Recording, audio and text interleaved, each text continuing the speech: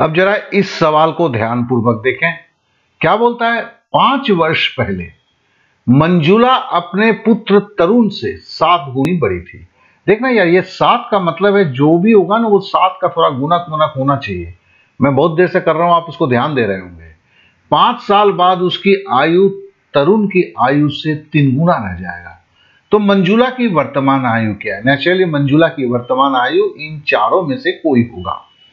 अब देखो, पाँच वर्ष पहले तो अभी की बोल रहा है, पाँच घटाना होगा। तो हम एक नज़र देखते हैं, चालीस से पाँच अगर जैसे मैंने घटाया, ये पैंतीस हो गया, और पैंतीस क्या है? सात का गुणक है, क्योंकि पाँच सत्य पैंतीस। देखो, ये पैंतालीस में से पाँच घटाओगे तो चालीस, ये सात का गुणक नहीं है, इसको मैं ऐसे ही काट दे सकता हूँ। पैंतीस में से पाँच घटाओगे तीस, ये सात से नहीं कटता है, ये भी कट गया।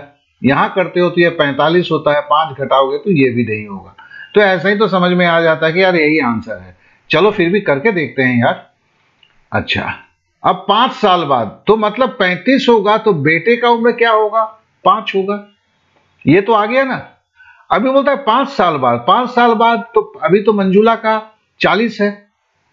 और मंजुला का जब चालीस है मतलब तो इस बेटे का क्या होगा? दस होगा। क्योंकि पाँच साल पहले की यह घटना है। ठीक है ना? और पाँच साल बाद क्या होगा? मंजुला का उम्र पैंतालीस हो जाएगा और पाँच साल बढ़ जाएगा। तो बेटे का भी उम्र निश्चित रूप से, बेटा तो दस साल का नहीं रहेगा, बेटा भी पंद्रह हो जाएगा। अब देखो, तीन गुना रह जाता है, यही हुआ ना, पंद्रह तिया पैंतालीस। तो तरुण की उम्र जब पंद्रह साल होगी, पाँच साल बाद तो मंजुला का उम्र क्या होगा? पैंतालीस होगा। दे दनादन यहाँ, मारा टिक, हो गया। क्या दोस्त? और सही पूछो तो तुम्हें समझाने के लिए लिखा गया है। हकीकत में ये होगा, जब आप भी सॉल्व कर रहे होंगे, थोड़ा सा इस पर ग्रिप आ जाता है तो ये लिखने के लिए आप भी वहाँ से न कोई प्रयत्न ही नहीं करेंगे। देखा, टिक मारा निकल गया।